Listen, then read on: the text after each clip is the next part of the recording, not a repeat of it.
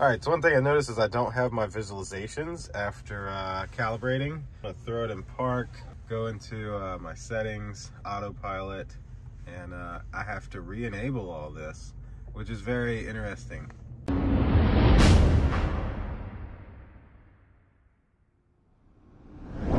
Today I wanted to go over some of the things that I found when I calibrated the cameras on my Tesla Model 3. Now I've had this car for just over a month and this was my first time calibrating the cameras. So first of course, let me show you exactly what you do on the car to get these cameras to calibrate. It's truly not that hard. First, real quick, click that like button, click subscribe, and indulge in your life at Indulge Clothing for the merch. And now let's see how we would calibrate the cameras on a Tesla.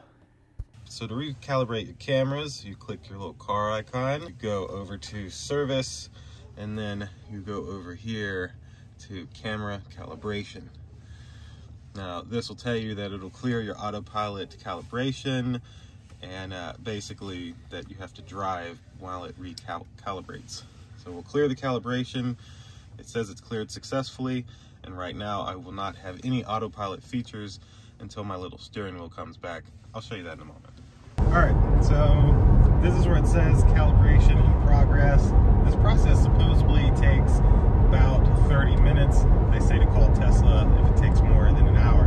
You'll notice up here that my little steering wheel has like a tiny little blue dot.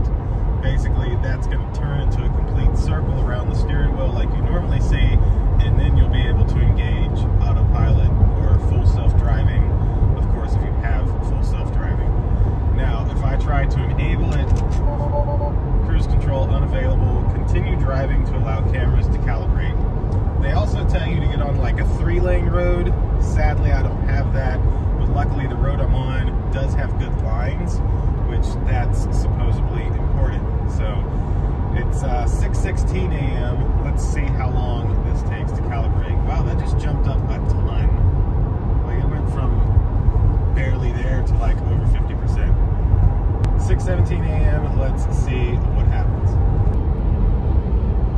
So crazy enough, it's almost done and it's been like two or three minutes. Going way faster than I thought. All right, we are even closer. 6.20 a.m. I'm very surprised at this. And there we go, calibration complete. So uh, now you see our steering wheel is back to blue.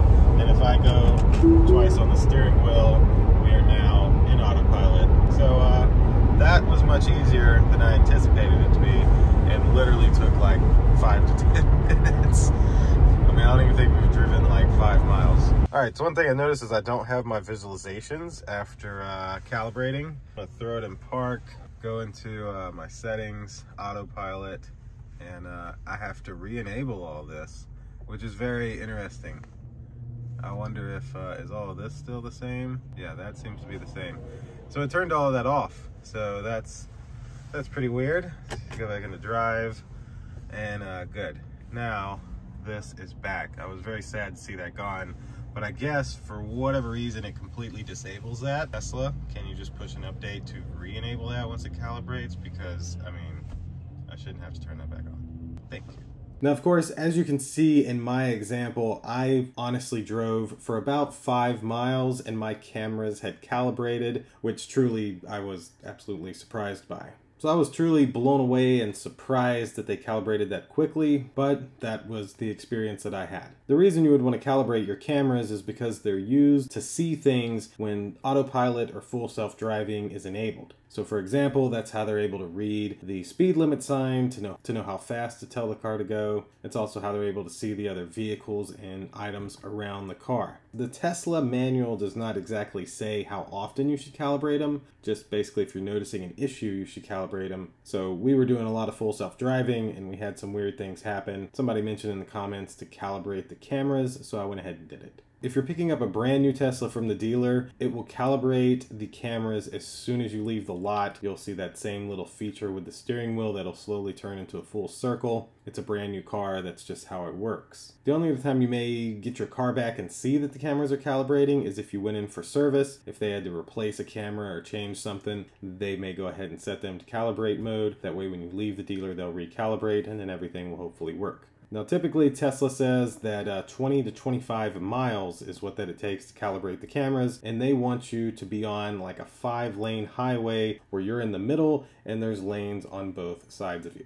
Now, unfortunately, we live on a two lane highway and uh, we couldn't do that, but still somehow ours calibrated in five minutes. So it also says in the manual that if you drive 100 miles and your cameras have not finished calibrating, that you should reach out to Tesla support. And then the only other thing I will add, and which you saw in our video, is that it seems when you calibrate the cameras, it disables full self-driving. Don't really, don't know why that was. Once cameras were calibrated, I had to go back in and re-enable my visualizations to uh, even access the full self-driving beta. That was kind of news to me, but again, this was my experience calibrating the cameras on my Tesla. And as you also saw, if you try and use anything, it just tells you that it's disabled. And so truthfully, I think that will do it for the Tesla camera calibration video. I wanted to show you what you would do to calibrate your cameras and what my experience was. Hopefully nobody runs into that whole 100 mile contact Tesla thing, but hey. So not too complicated, and I can say that my full self-driving has seemed a little better. The beta, since I calibrated, it seemed to be more accurate, less jitteriness in the steering wheel, less weird maneuvers. So uh, me personally, I'm probably gonna calibrate my cameras every three to six months. I don't know when you're supposed to. The uh,